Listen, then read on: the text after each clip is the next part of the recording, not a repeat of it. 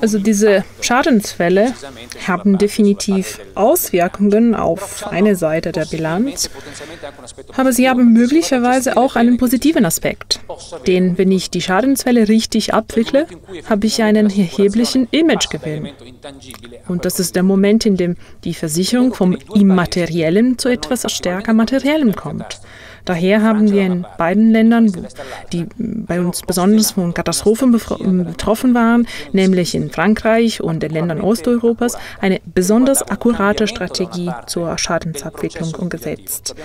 Sie betraf einerseits eine Modifizierung des Abwicklungsprozesses, den haben wir verschlankt und beschleunigt, um die Zahlungen früher zu leisten.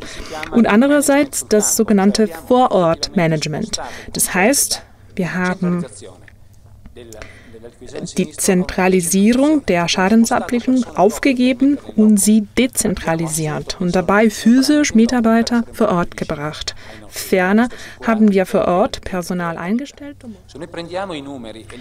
Wenn wir uns die, die Zahlen einmal anschauen, erkennen wir, dass wir in einem LV-Markt, der alleine von Einmalprämien getrieben wurde, zu noch mehr als 50 Prozent mit wiederkehrenden Prämien zu tun haben also den Prämien mit längerer Dauer und auch höheren Margen. Wir haben die Unit-Link vorangetrieben und im Ausland beispielsweise hatten wir 46 Prozent des Geschäftes ohne Garantien. Das Thema der Garantien ist heute ein sehr wichtiges Thema.